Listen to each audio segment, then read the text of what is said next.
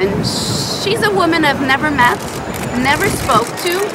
Uh, she called 911 on me because probably she knew I was Alec Baldwin ex-romance or she wanted me to be Alec Baldwin ex-romance in order to get married like two months after. She wanted to secure a deal, I guess.